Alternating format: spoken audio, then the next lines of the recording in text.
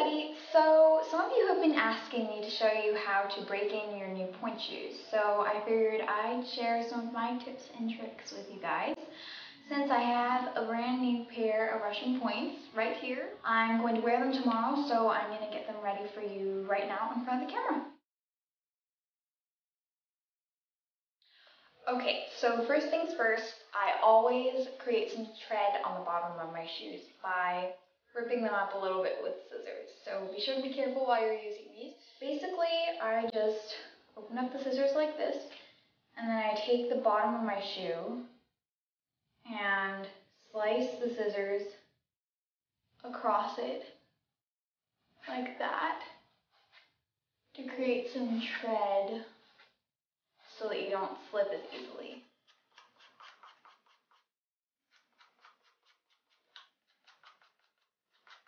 Okay, you only have to do a little bit, don't have to do that much.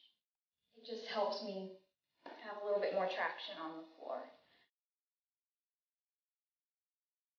So now I take the shank away from the sole of the shoe just a little bit so that it can move when I roll from down point to point. Like that. There you go. Don't be alarmed if there's a little bit of glue sticking out. That'll be fine. It won't affect your foot because that'll be covering it. Okay, so now I mark my shoes right and left, so I make sure that I break them in in the right way. So you can take a look at the um, tips of the boxes and see which one looks like it would be best for your right foot and which one looks like it would be best for left. This one is my left and this one is my right. Okay. Here we go. Okay, so now I just bend my shanks a little bit on floor because that's the easiest way to get the right shape for your foot. Just a little bit, not too much Just like that so that you have a little bit more flexibility. You can see there. And then I do it with the other shoe. Just a little bit. Okay, there you go. You can also do it this way if you want to get more of a demi pointe flexibility as well.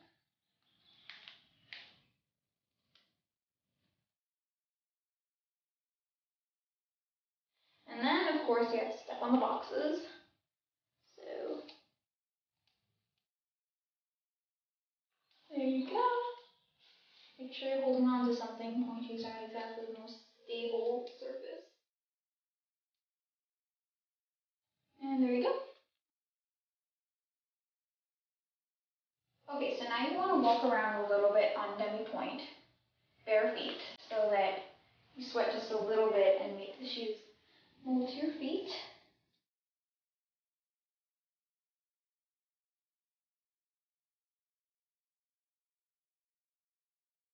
Alright, so now you should put on your shoes with either toe pads or not, whichever you feel is better for you. So you can just press over your point. that's what I always do first, on both feet to sort of mold the arch to your foot.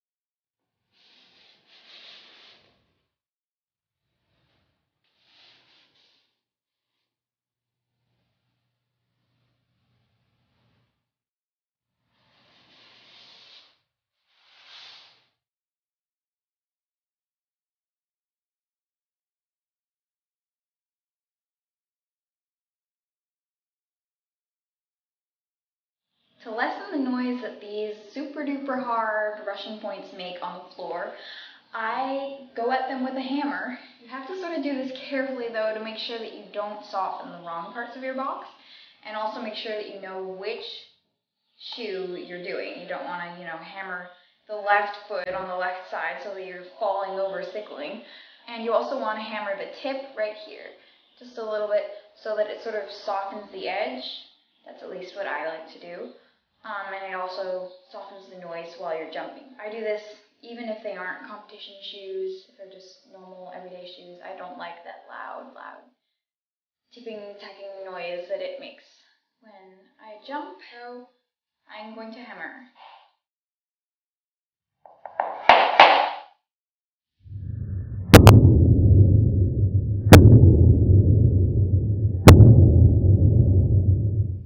You can see it's already a little bit softer than it was before.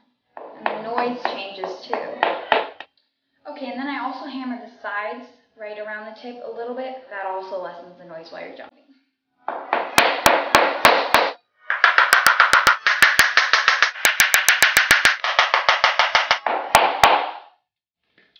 Alright, so there you go. My pointe shoes don't have drawstrings, but if yours do, you'll definitely want to tighten them. Um, I don't really like that mine don't have drawstrings, but it's the only ones they had in store right now. If yours do have drawstrings, take advantage of them and definitely tighten them up so that your shoes don't gape while you're in demi pointe. Just gives everything a more clean, finished line. You're pretty much done breaking in your shoes now. If you want to do anything else, add to this whole ritual that I do every time, you can. Um, some people also like to cut their shanks. You're gonna do that, My Dance TV has a really good video on that, so you might wanna go check her out. I'll put the link in the description below. Okay, so now your pointe shoes should be a lot more flexible, a lot easier to wear for your first class new shoes. Um, if you have any comments, suggestions, leave them below for me. I'm done here.